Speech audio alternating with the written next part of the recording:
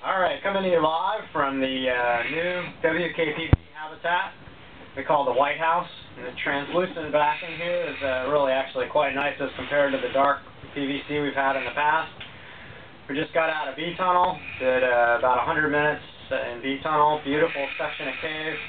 We had one team deploying out to 5500, pulling out 10 empty stages from our previous dive, checking out visibility conditions we were doing recon to see how clear the B-tunnel sections were and how much surface water mixing there was there. Very little surface mixing in B-tunnel, although a slight tinge.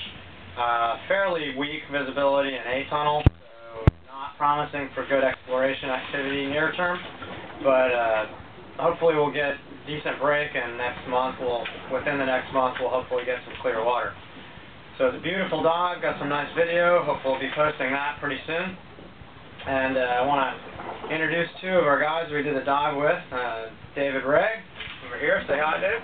What's happening? Most of you guys know David Rhea. And Jim Miller. You doing? Jim says hi to everybody. These guys are a lot of fun to dive with. Had a great uh, round of dives. Sorry for the splash. Getting rid of a little uh, fog buildup. The new Taj Mahal White House is uh, pretty sweet, only as Casey McKinley can do. Full hanging, hanging rack. What's that over there, David? Yeah, happy diver. Yeah, happy diver. And that over there is a little decompression song. David, could you sing that for us? Way. Boy, man. Come on, man. What's wrong with you?